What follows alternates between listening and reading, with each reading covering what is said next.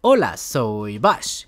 Y hola amigos, bienvenidos una vez más a nuestro canal. Y bueno, el día de hoy, como ya es costumbre en el canal, les traigo la review del capítulo 376 del manga de Boku no Hero Academia, en, donde continuamos con uno de los escenarios más terribles del campo de batalla en esta guerra final, ya que sí, como recordaremos en el capítulo anterior, All for One, Davi y Himiko Toga se habían reunido en un mismo lugar para causar un caos completamente terrible. Y en este capítulo vemos cómo harán los héroes para tratar de enfrentar a todos estos adversarios. Pero bueno, por obvias razones las cosas no serán tan sencillas. Y eso sí, antes de comenzar directamente con el episodio, esta semana Boku no Hero Academia se llevó una página a color, además de revelar los resultados de su encuesta de popularidad, diciéndonos que una vez más Bakugo se quedó con el primer puesto, Deku quedó en segundo, Shoto en tercero, Endeavor en cuarto e Ida en quinto. Y bueno, para los que se preguntan por qué Bakugo no murió y por qué Bakugo va a regresar tarde o temprano al campo de batalla, aquí está la respuesta. En Japón todos aman a Bakugo. Pero bueno, ahora sí ya comenzamos con el episodio, ya que el capítulo 376 está titulado De una tormenta a una flor, mostrándonos ahora sí el capítulo anterior y cómo Uraraka y Tsuyu llegaron al campo de batalla junto a un ejército de Twice, creado por la mismísima Himiko Toga. En este momento observamos cómo Uraraka sigue insistiéndole a Himiko que aún no han hablado acerca del amor, a lo que Himiko al parecer entre la multitud de Twice le responde que esa niña enamorada ya no está, por lo que sí, al parecer Himiko Toga finalmente se ha decidido a ponerse en acción y realizar la venganza por parte de Twice. Pero bueno, la verdad es que este elemento por parte de Uraraka me llama mucho la atención, ya que creo que esta podría ser la clave para que Uraraka logre detener a Himiko Toga, ya que esta podría ser la clave principal para atrapar a la verdadera Himiko Toga dentro de la multitud, es decir, tratar de establecer una conexión o hablar acerca del amor con ella para que ésta se distraiga o haga algo diferente resto y así pueda detectar cuál es la original. En este momento dentro de la multitud se nos llega a mostrar a la verdadera Himiko Toga, al menos dentro de lo que creo, pero aún así sabemos que es extremadamente difícil encontrarla y creo que esta será la principal tarea de Tsuyu y Uraraka. Pero bueno, debido a esta situación con el ejército de Twice vemos que los héroes no tienen más opción que retirarse. Primero mostrándonos a uno de las Pussycats la cual tiene la manipulación de la tierra creando una barrera para así tratar de bloquear al ejército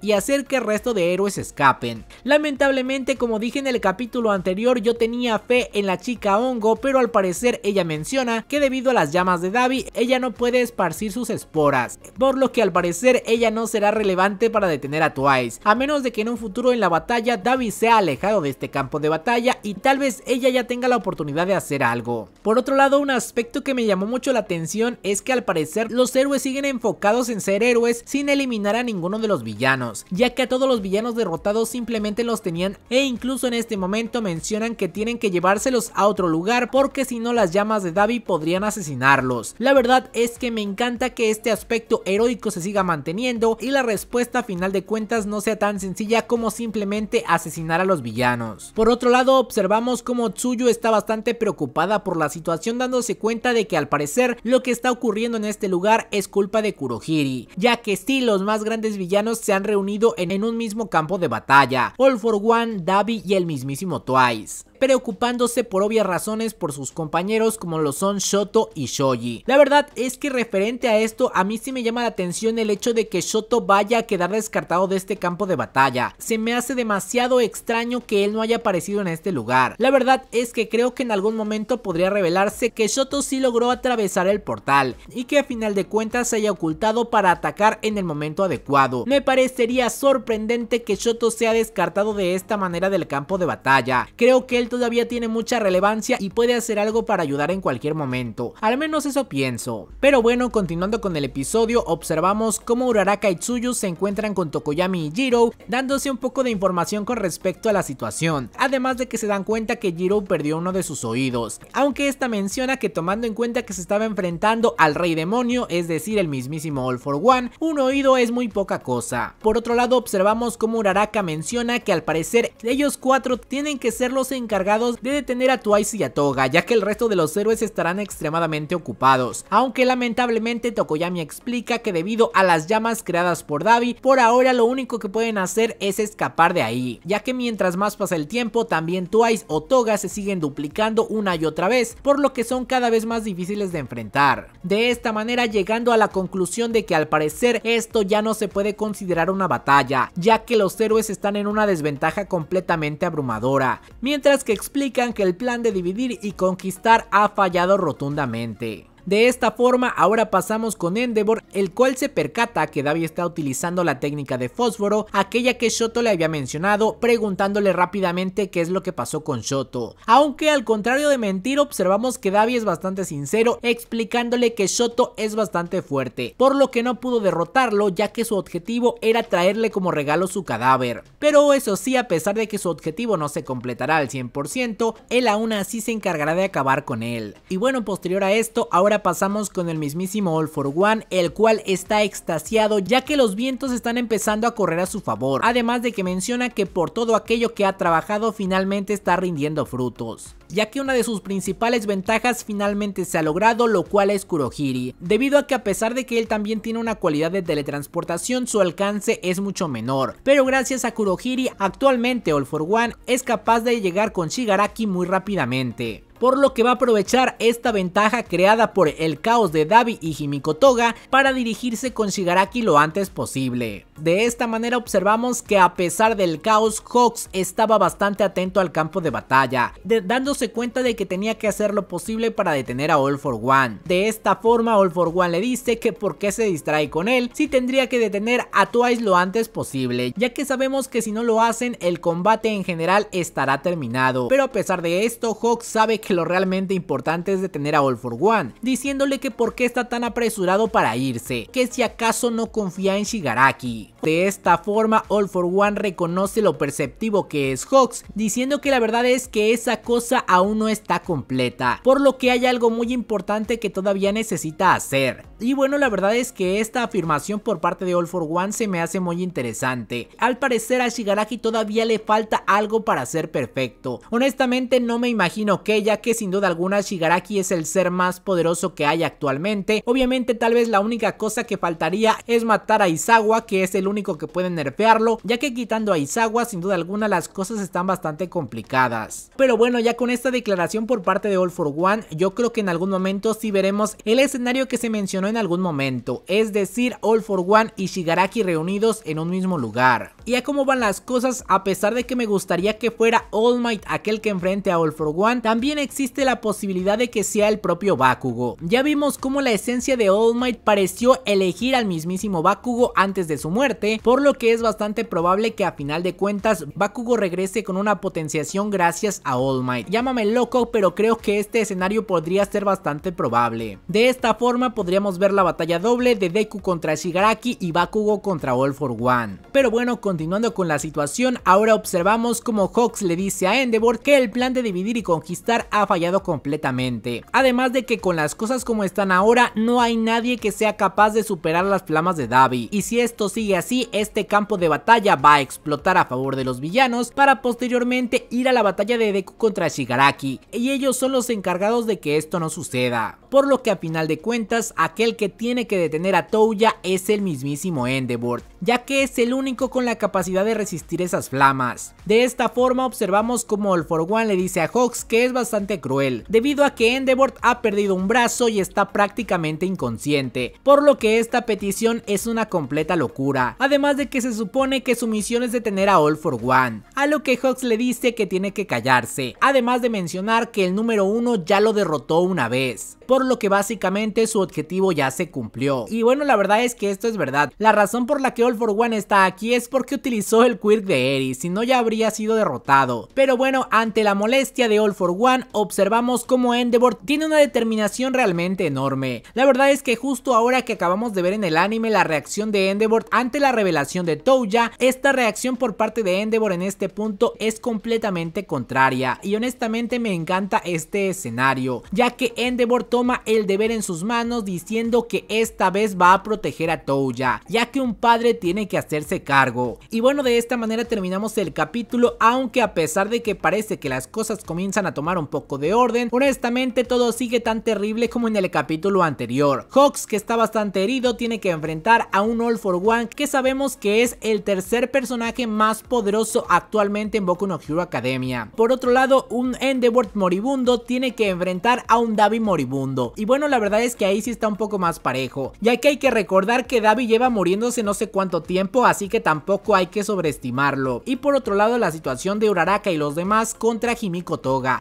cuyo objetivo será encontrar a la original para así tratar de desactivar este ejército. Y como lo mencioné, debido a esos sentimientos, es probable que a final de cuentas Himiko Toga exhiba su posición real, y ese será el momento adecuado para acabar con ese ejército, aunque sin duda alguna las cosas van a estar muy complicadas. Pero bueno, de esta manera terminamos el video, me encantaría que me dejen su opinión y teorías en los comentarios, y antes de despedirme quiero agradecer a todos los miembros del canal que siempre nos están apoyando. Y muchas gracias al Cojo Gamers, Shangerotti, Junito Furcal, Eddie Lobo, Luis Macosta, Ernesto Albornoz, Sobeida Mendoza, Rain505, Alfred Same, Manuel Castro, Santiago de la Cruz, Alex Gamer, Armo, Rodrigo García, Fanny Morales y Jonathan B. Y ahora sí, sin nada más por añadir, adiós.